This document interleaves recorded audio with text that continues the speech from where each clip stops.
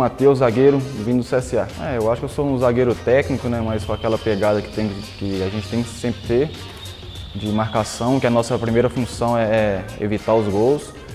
Então eu acho que eu sou um zagueiro que tem qualidade na saída de jogo e tem uma boa bola aérea defensiva e ofensiva também. Ah, o projeto mesmo, mesmo, mesma coisa que a gente conseguiu fazer é, no CSA esse, esse, ano passado, que passou. É, fazer um bom trabalho, uma boa, um bom paranaense aí, buscar o título, quem sabe, e já se preparando para a Série B e colocar o Paraná na, na Série A novamente. Pela nossa idade também, pelo que a gente já viveu no futebol, eu acho que a gente pode passar um pouco de experiência, um pouco de sabedoria aí para a molecada mais nova aí, que com certeza eu acompanhei alguns jogos do, do, do Paraná na, na, na, Série A e vi que tem uns garotos com muita qualidade e se Deus quiser essa mescla aí vai, vai dar bons frutos. Mas eu fiquei impressionado com, eu acho que o Paraná se estruturou muito bem do ano, do ano passado para esse ano e fiquei muito surpreendido, uma surpresa muito boa.